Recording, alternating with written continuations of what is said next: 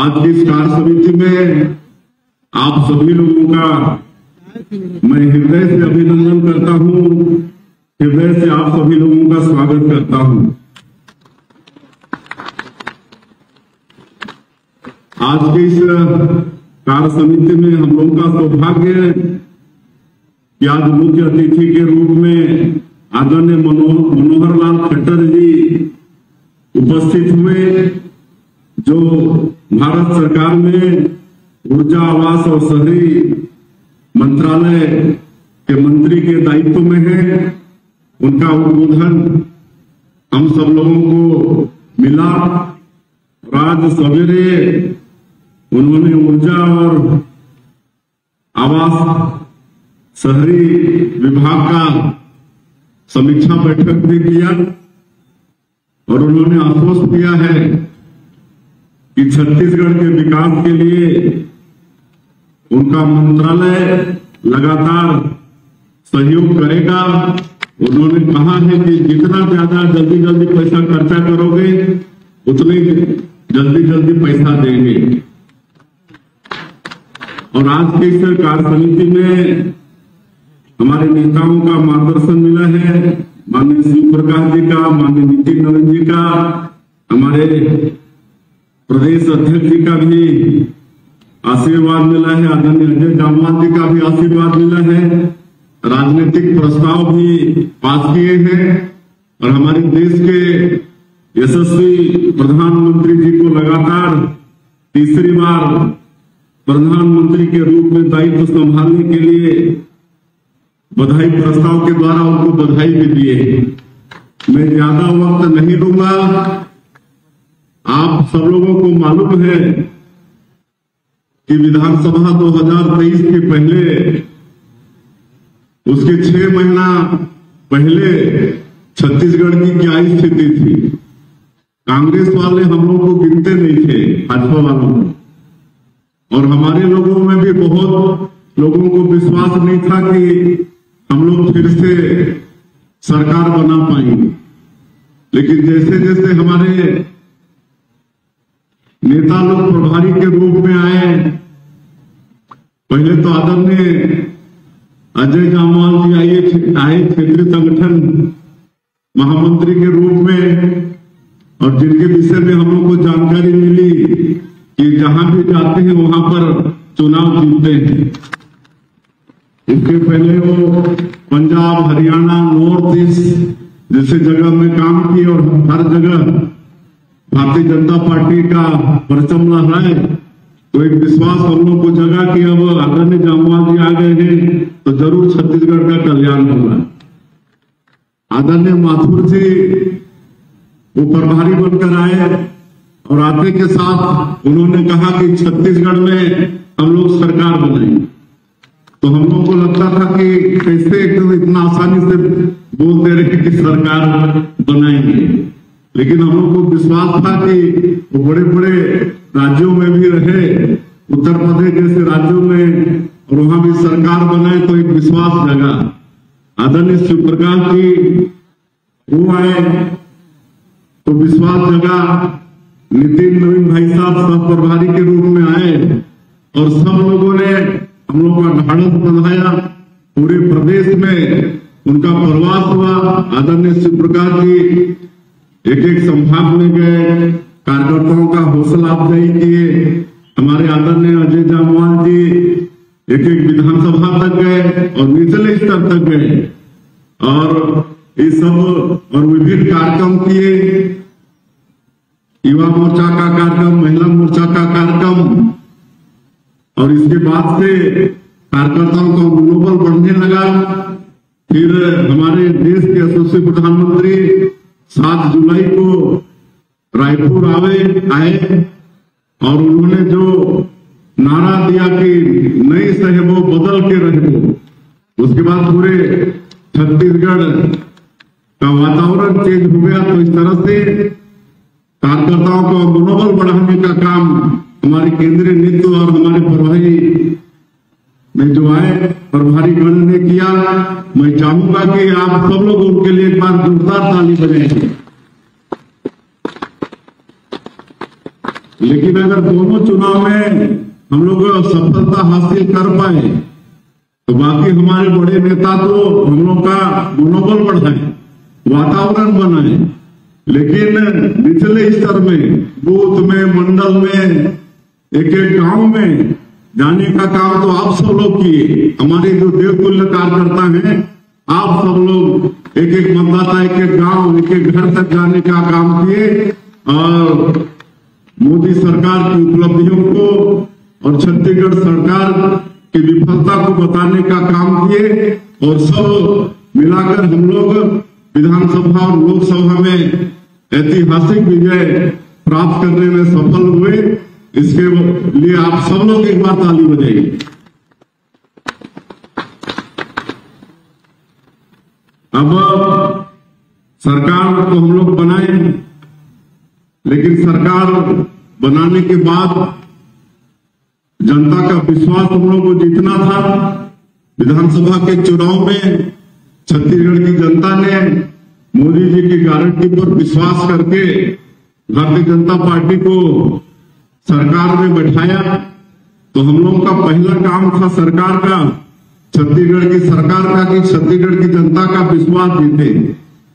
और इसलिए मोदी की गारंटी में जो भी वादा था और जिसको चुनावी दृष्टिकोण से पहले करना ज़रूरी था, वो सबको हमारी सरकार ने किया।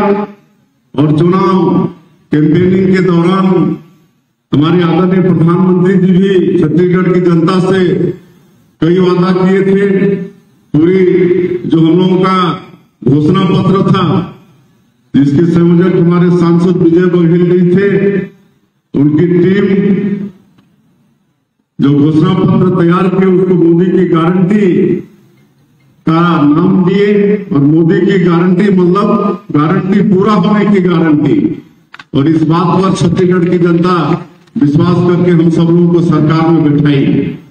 और प्रधानमंत्री जी ने कहा था कि सरकार बनेगी तो पहला काम जो 18 लाख लोग प्रधानमंत्री आवास से गरीब लोग वंचित हो गए कांग्रेस की सरकार में, उसको पूरा करने का। और हम लोग 13 दिसंबर 2023 को शपथ लिए और 14 दिसंबर को ही पहला कैबिनेट करके 18 लाख से ज़्यादा प्रधानमंत्री आवास की स्वीकृति दिए। जो मोदी की गारंटी का पहला काम उस दिन हम लोग पूरा किए। फिर दो साल का बकाया बोनस देने का काम किए।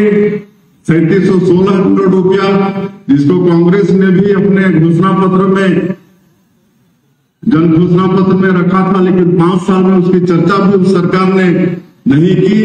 लेकिन हम लोग सरकार में आते के साथ ही 25 दिसंबर जिसको हम लोग सुशासन दिवस के रूप में मनाते हैं, सदैव छत्तीसगढ़ के निर्माता अटल जी का वो जन्म दिवस भी होता है। उस दिन 12 लाख से ज़्यादा किसानों का दो साल का बकाया बोनस दे दिए, सैंतीस सौ सोलह करोड़ रुपया। फिर इक्कीस क्विंटल प्रति एकड़ धान खरीदने की बात थी इक्कीस क्विंटल प्रति एकड़ धान भी खरीदे। इकतीस सौ रुपया प्रति क्विंटल धान का कीमत देने की बात थी और जो अंतर की राशि थी नौ सौ सत्रह रुपया प्रति क्विंटल, उसको भी एक साथ देने का काम तेरह हज़ार तीन सौ बीस करोड़ रुपया देने का काम आपकी सरकार, भारतीय जनता पार्टी की सरकार ने की। रामलला दर्शन योजना शुरू किए। तेंदु पत्ता का कीमत चार हज़ार से बढ़ाकर साढ़े पाँच हज़ार प्रति मानक बोरा। ये किए। तो इस तरह से जनता का विश्वास जीतने का काम हम लोग सब लोग किए। और आज जनता का विश्वास हमारी सरकार के ऊपर में है और इसको और आगे हम लोग को बढ़ाना है। और भी हम लोग को मोदी की गारंटी का काम पूरा करना है। जो भूमि लोग हैं, उनको दस हज़ार रुपया साल का देने का काम हम लोग को करना है और इसके लिए 500 करोड़ रुपया हम लोग बजट में रखे हैं। उसको भी आने वाले समय में करेंगे। गैस का सिलेंडर पाँच सौ रुपये में देने का वादा है, उसको भी करेंगे। जो भी वादा है, वो सब वादा आने वाले समय में पूरा करेंगे। और हमारी सरकार करप्शन के मामले में ज़ीरो, टॉलरेंस नीति को अपनाकर चल रही है। और आप सब लोग देख रहे हैं कि जो भी जहाँ भी करप्शन का गुंजाइश था जिससे आपका आबकारी में एक एफएल ट्रेन होता था जिसमें भारी कलाकारी होती थी जिसके कारण शराब घोटाला भी हुआ 2000 करोड़ का और आज दोषीदार लोग जेल के अंदर भी हैं। वो एफएल ट्रेन को हटाने का काम किए हैं। कोयला के क्षेत्र में ऑफलाइन टीपी जारी होता था, जिसमें 25 रुपया प्रति टन बिना दिए टीपी कटता नहीं था। ये ऑफलाइन को भी हम लोग खत्म करके ऑनलाइन कर दिए हैं। तो इस तरह से जहाँ भी करप्शन का गुंजाइश है, वो सबको भी धीरे धीरे हम लोग दूर कर रहे हैं। और आने वाले समय में और भी करने वाले हैं। और आज जो यहाँ पर भ्रष्टाचार किए पिछले पाँच साल में, उनको सजा देने का काम भी चल रहा है। चाहे वो आबकारी घोटाला हो, शराब घोटाला हो, चाहे कोयला घोटाला हो, चाहे डीवेब का घोटाला हो, चाहे महादेव का घोटाला हो, आप सब लोगों को मालूम है कि सभी घोटाला की जाँच हो रही है और लगातार लोग अंदर अभी तक भी जा रहे हैं। जैसे जैसे जाँच आगे बढ़ रही है, वैसे वैसे जो भ्रष्टाचारी लोग हैं, सब जेल के अंदर में जा रहे हैं। इस तरह से हमारी सरकार करप्शन के मामले में ज़ीरो टॉलरेंस की नीति अपना रही है। तो ये सब हमारी सरकार कर रही है और मैं आश्वस्त कर सकता हूँ, मुख्यमंत्री के नाते कि आप लोगों ने हम लोगों को सरकार में बैठाया है तो हम, हमारे उप मुख्यमंत्री दोनों और मंत्रीगण, सब लोग, हम लोग पूरी निष्ठा के साथ, परिश्रम के साथ, ईमानदारी के साथ, जनता का विश्वास भी बरकरार रखने का प्रयास करेंगे और जो कार्यकर्ता आप लोग भी परिश्रम का पराकाष्ठा करके भारतीय जनता पार्टी को सरकार में बैठाए हैं, आप लोगों के विश्वास में भी खरा उतरने का पूरा प्रयास हमारी सरकार का होगा। और हर क्षेत्र में हमारी सरकार काम कर रही है। आज जो बस्तर के अंदर में पाँच ज़िले नक्सल प्रभावित हैं, उसके लिए हम हमारे गृह मंत्री जी को धन्यवाद देना चाहेंगे उनका भाषण तो आप सुने ना। जैसा भाषण में ओझ है, वैसे उनके काम में भी ओझ है।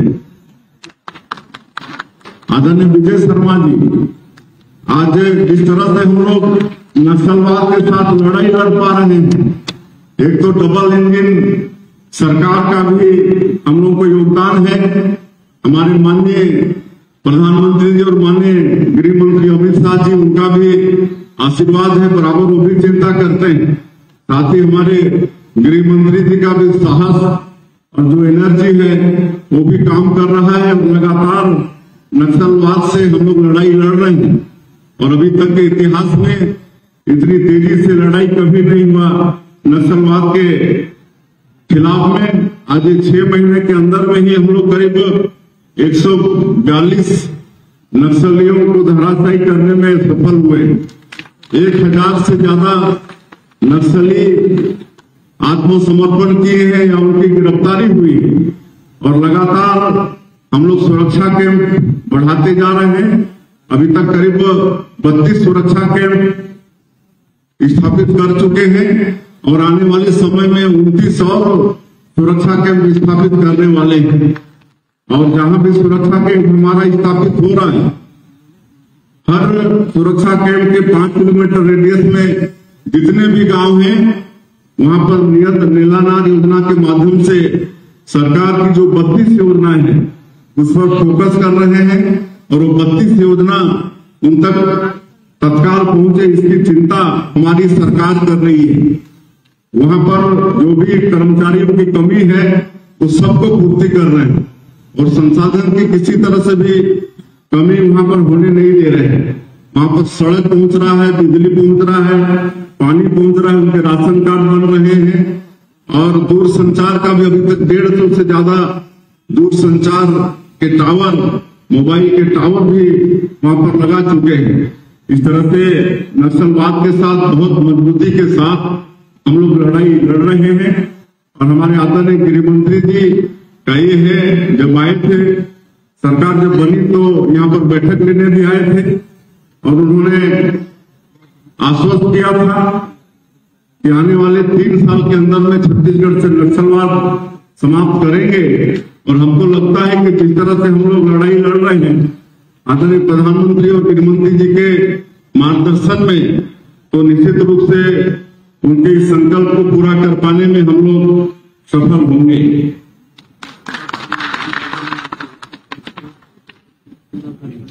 और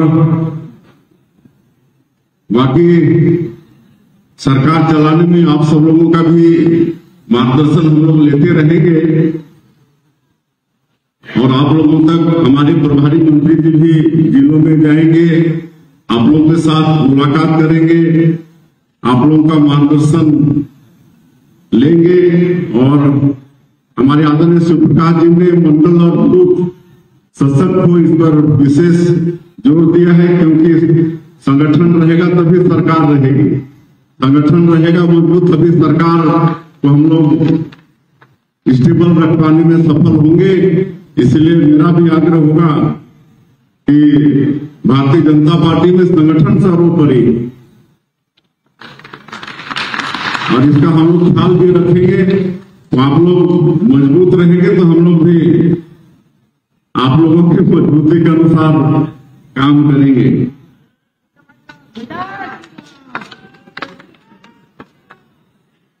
और आने वाले समय में वो चुनाव है और वो कार्यकर्ताओं का चुनाव है नगरीय निकाय का और पंचायत का।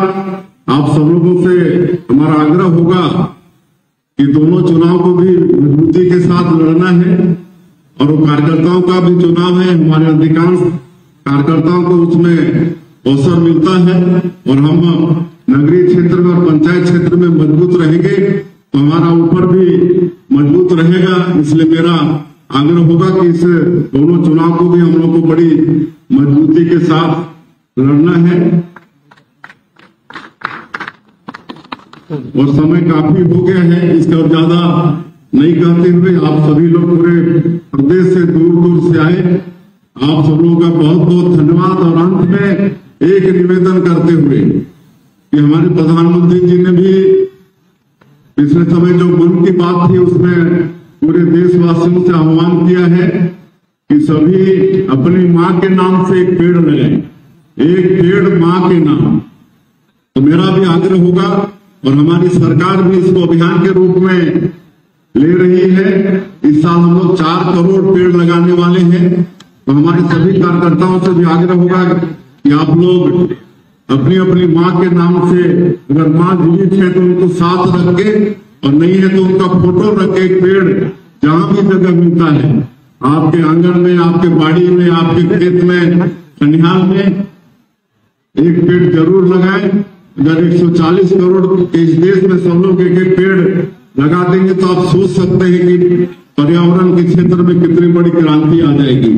तो इसका भी आप सब लोग पालन करेंगे और अंत में आप सभी लोगों का बहुत बहुत धन्यवाद करते हुए देवतुल्य कार्यकर्ता भाई बहनों का और हमारे मंच में विराजमान हमारे सभी मार्गदर्शकों का भी मैं एक बार फिर से धन्यवाद करते हुए और सब मिलकर इस छत्तीसगढ़ को विकसित छत्तीसगढ़ के रूप में खड़ा कर पाए और जो हमारे प्रधानमंत्री जी की सोच है, दो हज़ार सैतालीस तक विकसित भारत के रूप में इस देश को खड़ा करने का, उसमें हमारा ये छत्तीसगढ़ भी विकसित छत्तीसगढ़ बन के योगदान थे इसी विश्वास के साथ बहुत बहुत धन्यवाद। जय